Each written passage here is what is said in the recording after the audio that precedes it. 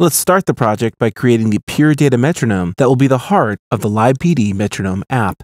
The Pure Data Metronome will consist of multiple abstractions, each with their own specific purpose. The first abstraction that we'll work on will be the abstraction responsible for creating the click sound. We'll call this the click abstraction. I've got a patch open and I will navigate to a folder that I created ahead of time for all of my PD patches, and I'll save this as click.pd. Now, the first thing that I'll create will be an inlet, and this inlet will take a bang as its argument. So the bang will come from the metronome timing mechanism that we'll create in a moment. And then I'll create an outlet, and the outlet will send out a signal, and that will be the sound made by this abstraction. So let's work on that portion of the patch now. I'll create an oscillator that is at a default rate of 440 Hertz, and I'll connect that to a multiplication audio object. I'll shape the amplitude of the oscillator with a V-line. To produce a quick click sound, I'll create a message that drives the V-line to ramp up within 1 millisecond and then down within 20 milliseconds after a 30 millisecond delay.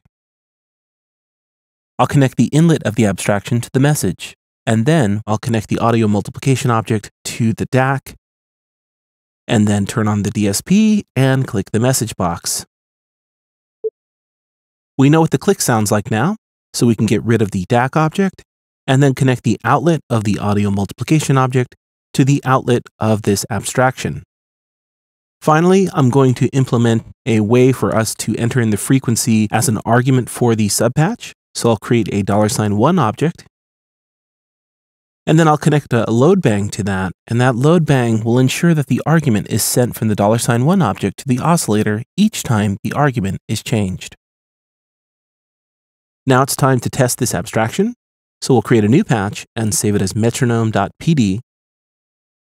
I'll create a new object called click, and then for the argument, I'll type 880. And this 880 is what is sent to that dollar sign $1 object within the abstraction. Let me go ahead and connect a bang to the inlet.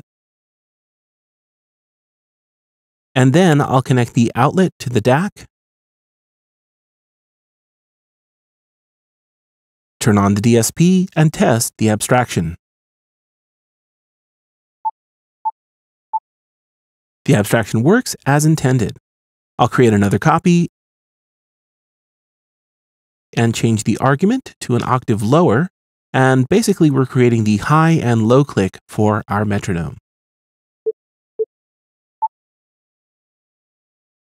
The click abstraction is now complete.